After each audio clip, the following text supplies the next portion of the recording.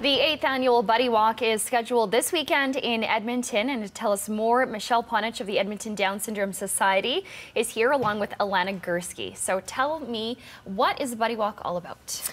The Buddy Walk, um, this is, as you said, it's our eighth year. It's a coming together of families and friends and people from our community to raise awareness of people who are born with Down syndrome.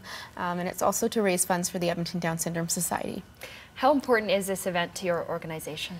It's, it's so very important because not only is it raising those much needed funds, it's going to help us expand our programming.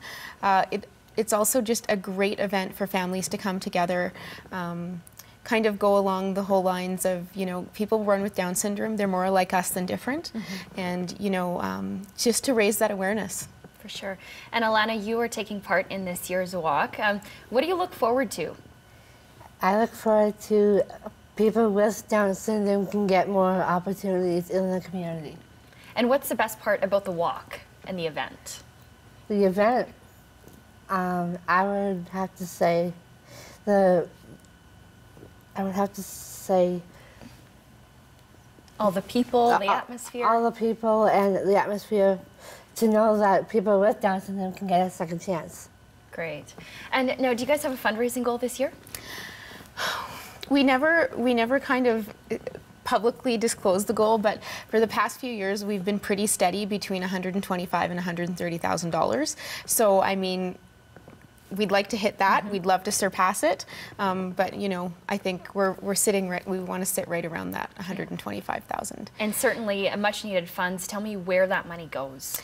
So the funds from this year, um, they're going to, it will continue to support some of the programming that the EDSS offers.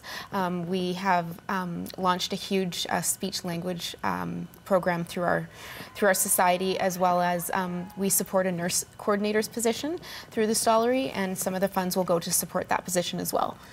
Okay, and now, what is the benefit? Uh, have, what has the benefit been for people living with Down syndrome uh, with regards to these programs that they have access to?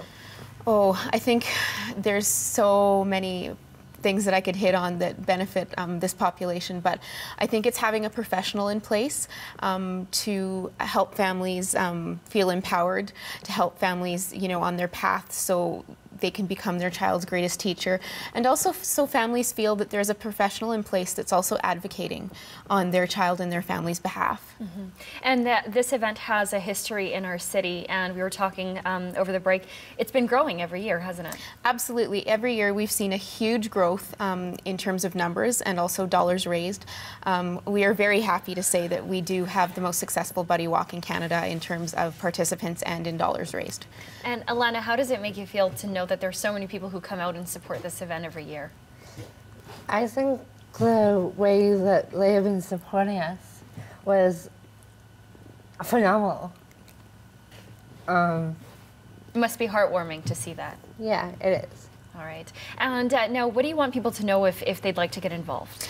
Um, they can log on to edss.ca um, and get more information about the walk. Online registration closes this evening, but people can come down and register day of, starts 9.30 this Sunday.